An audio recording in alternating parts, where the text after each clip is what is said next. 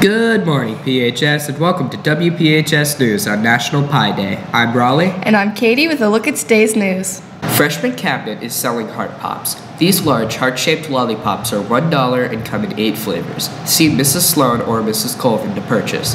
Freshman Cabinet will soon be offering these as candy grams, which will be delivered on Valentine's Day to your special someone. Don't miss out! Snowball, a winter semi-formal dance sponsored by Student Council, will be held February 18th from 7 to 10 p.m. in the Fieldhouse. Tickets will go on sale later, but the cost will be $5. Only outside guests who attend Wood County schools are allowed to attend. The Big Red Bakery will be selling pepperoni rolls this week for $2. Orders placed by tomorrow after school will be delivered during advisory on Wednesday. Cash payment only. Attention all members of National Honor Society. Please remember to attend the weekly NHS meetings. They take place on Tuesdays at 7:30 a.m. in room 204 West. If you are unable to attend the meetings for any reason, please see Ms. Taylor as soon as possible. Requirements for remaining an active NHS member will be discussed at tomorrow's meeting. Only active members will be recognized at graduation. Student Council's Winter Blood Drive will be held on February 2nd in the Jack Stevens Gym.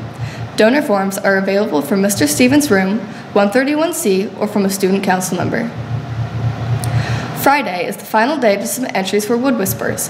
Students may submit entries for cover design, signature poem, photography, art, poetry, short story, essay, and digital art.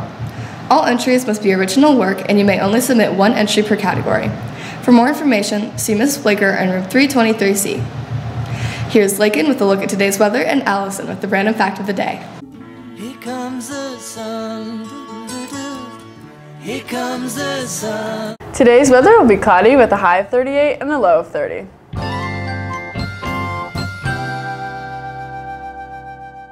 Did you know the earliest pies were mostly meat instead of fruit?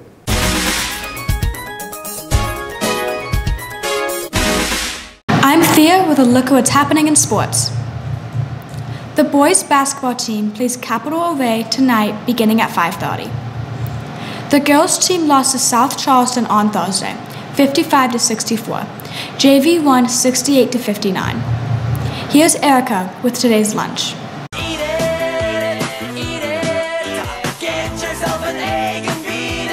Today's lunch will be cheese stuffed bites with marinara sauce and a twisted garlic breadstick. The grill special will be stromboli. Thank you for watching WPHS News. Join us next time for the latest PHS update.